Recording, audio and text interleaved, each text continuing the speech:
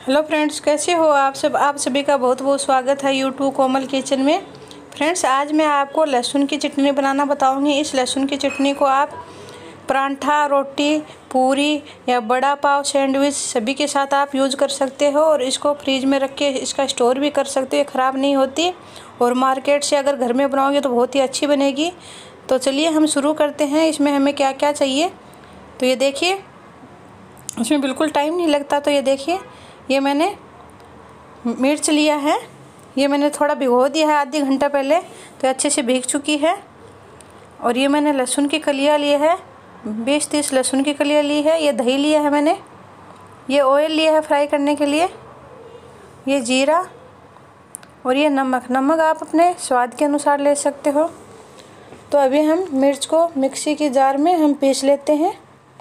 तो ये मैंने मिक्सी का जार लिया, इसमें हम ये मिर्च डाल देंगे। अगर आपको तीखा पसंद नहीं है तो आप बीज इसके निकाल सकते हो। मैंने नहीं निकाले हैं, और ये लहसुन की कलियाँ डाल दी है मैंने। इसमें लहसुन बहुत ही ज़्यादा चाहिए अच्छा लगता है। अगर ज़्यादा डालोगे तो और ये दही लिया है। आप एक बार इसी तरह बना के ट्राई ज़रूर करना, और नमक आप अपने हिसाब से डाल सकते हो। अभी हम इसको ढक के थोड़ा इसका पेस्ट बना लेंगे दरदरा, फिर उसके बाद थोड़ा सा पानी डाल के करेंगे। तो ये देखिए, हमारा दरदरा पेस्ट बन गया है। अभी हम इसमें थोड़ा पानी डाल देंगे। इससे इससे क्या होगा कि ये और भी अच्छे से पिस जाएगी और थोड़ी पतली भी बन जाएगी। तो हम इसमें अभी इसमें थोड़ा पानी डाल देते हैं। तो ये देख पा रहे होंगे हमें इसमें थोड़ा सा पानी डाल दिया है। अभी इसको और थोड़ा पीस लेंगे।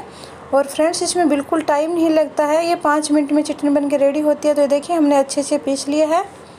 और आप इसको ऐसे कच्ची भी खा सकते हो। ये बहुत अच्छी लगती है। परांठा पूरी किसी के भी साथ। और इसको मैं एक बार आपको फ्राई करके भी दिखा देती हूँ। तो ये देखिए, इसमें कटोरी में निकाल लिया है और इसको हम फ्राई करेंगे। तो फ्राई करने के लिए हम एक पैन लेंगे। तो ये देखिए, मैंने अच्छे से इसको मिक्स कर लिया, थोड़ा पानी डाला है इसमें और अभी हम ये पैन लिया है, इसमें थोड़ा ऑयल डाल देंगे। तो ये मैंने ऑयल रिफाइंड का लिया है। आप सरसों का भी ले सकते हो, घी भी ले सकते हो और इसमें जीरा डाल देंगे। अभी ब्राउन होने तक जीरे को पकाएँगे।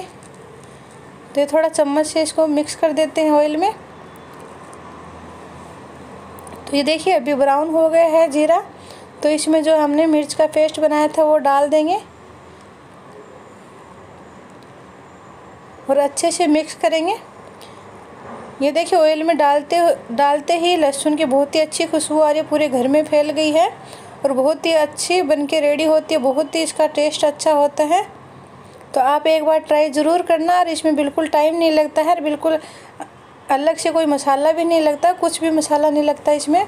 इसमें मैंने थोड़ा सा पानी लेके इसमें डाल लिया है और इसको थोड़ा मिक्स कर देंगे। आप देख रहे होंगे। देखिए, हम ऐसे थोड़ा मिक्स कर देंगे।